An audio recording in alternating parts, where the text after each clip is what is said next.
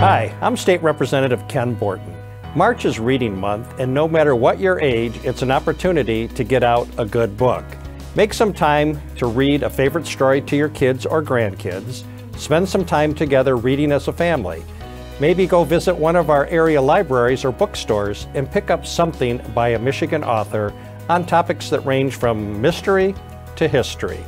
Join me as we celebrate Reading Month during March, and whether you're a kid or an adult, be a reader for life.